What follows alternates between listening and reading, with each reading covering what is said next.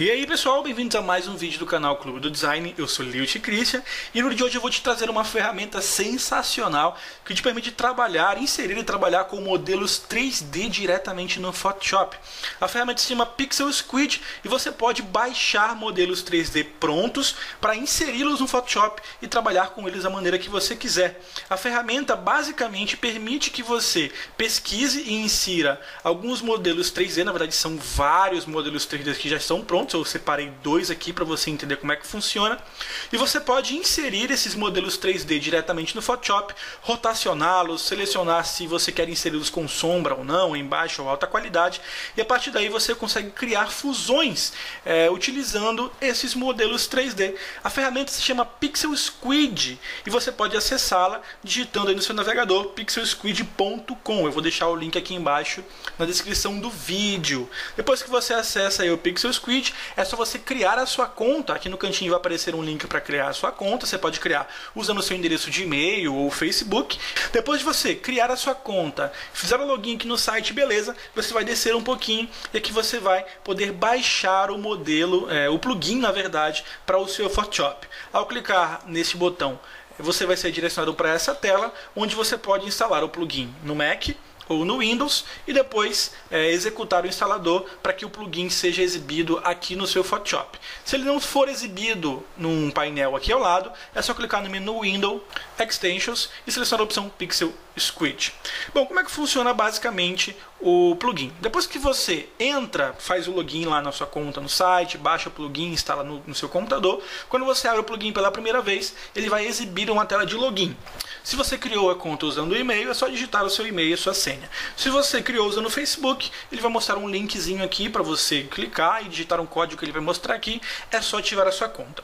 Depois que fizer o login no plugin do Pixel Squid no Photoshop, você pode voltar aqui para o site e pesquisar pelos seus modelos 3D Existem centenas de modelos disponíveis para download que você pode inserir no seu Photoshop e trabalhar com eles livremente. Eu separei dois aqui, esse dinossauro e o Iron Man, só para mostrar um exemplo para vocês de como é que funciona.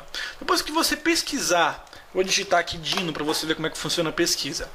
Depois que você pesquisar por uma palavra-chave e localizar o modelo que você gosta, você pode abri-lo e a partir do momento em que ele carregar na tela, você vai conseguir rotacioná-lo da maneira que você quiser. Você pode clicar aqui na opção adicionar ao Photoshop ou você pode baixar um arquivo em PSD com a pose que você selecionou aqui ao lado. Ou um formato PNG também. Eu vou clicar em adicionar ao Photoshop e dessa forma ele vai aqui para o Lightbox. Ao voltar para o meu Photoshop e selecionar a opção Refresh, no painel do plugin, ele vai inserir a imagem que eu adicionei ao meu Lightbox lá no Pixel Squid. Em seguida é só clicar sobre o objeto que ele vai ser inserido diretamente no meu projeto. A partir daí você pode transformá-lo da maneira que você quiser. Eu vou posicioná-lo aqui um pouco mais embaixo e vou diminuir só um pouquinho de tamanho para ele não ficar tão grandão assim. E pronto. É claro que você pode ainda, antes de começar a editar, adicionar camadas de ajustes ou fazer os ajustes que você quiser, você pode rotacioná-lo utilizando esse painel aqui ao lado. Você pode exibi-lo de cima, de baixo, rotacioná-lo da maneira que você achar conveniente. Eu vou virar ele um pouquinho aqui de lado. Colocar ele um pouquinho de lado. Acho que de frente ele fica mais bonitão, né? E você pode ainda habilitar a opção para alta resolução, habilitar ou ocultar as sombras, incorporar em um objeto inteligente, em uma camada é, incorporada ou em abrir o arquivo em um novo PSD. Note que eu inseri então a forma no meu na minha imagem aqui do Photoshop e ele aparece como um objeto inteligente. Eu vou em seguida adicionar algumas camadas de ajustes, tá? Eu vou só fazer uma pequena edição rápida aqui para deixar ele mais realista. Você pode, claro, ambientá-lo aí a sua cena, dependendo da cena que você escolheu. Vou colocar aqui uma exposição um pouco menor. Pronto, e depois eu vou pintar com um pincel preto para deixar ele um pouco mais realista, com uma exposição aqui na parte de cima e aqui na, nas costas dele. Então você observa, na verdade, quando eu dou um zoom mais próximo, o objeto ele está com uma baixa resolução, mas você pode alterar isso selecionando a opção de alta resolução aqui no seu painel do Pixel Squid. É claro que eu não vou fazer isso porque senão ele vai demorar muito para baixar. E olha só o resultado final. Você pode, claro, trabalhar ainda mais, ambientar mais o seu objeto. Eu vou fazer um segundo exemplo aqui utilizando essa imagem e eu vou adicionar o meu modelo 3D do Homem de Ferro. Já está todo bonitão aqui, todo pronto. Eu vou clicar em adicionar no Photoshop. Em seguida, vou voltar aqui no meu painel do Pixel Squid e dar um refresh. E inserir o desenho dentro da minha imagem. Eu baixei algumas imagens de plano de fundo, tá? Você pode fazer isso pesquisando aí uma imagem qualquer no Google e inserindo o seu modelo como você achar melhor.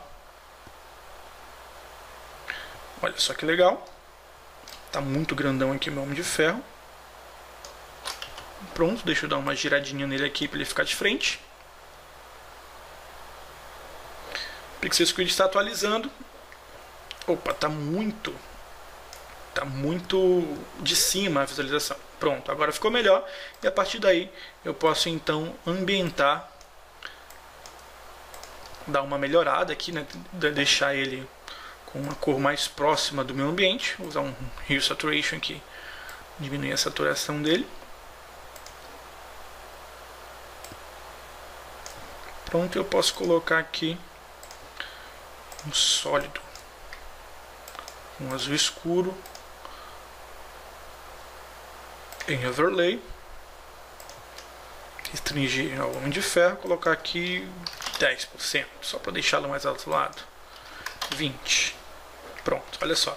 Então eu tenho o meu Homem de Ferro mais ambientado, claro, né? Dá, dá para dar uma melhorada, mas eu não vou me ater muito aos detalhes nesse momento, olha só.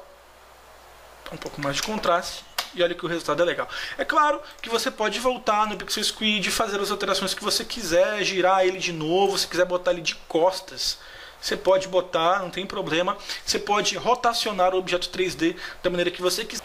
Você pode ainda utilizar as opções disponíveis no painel. Deixa eu dar um Ctrl Z aqui. Deixa eu voltar ele aqui para frente, que estava melhor. Pronto, e esse é o resultado final.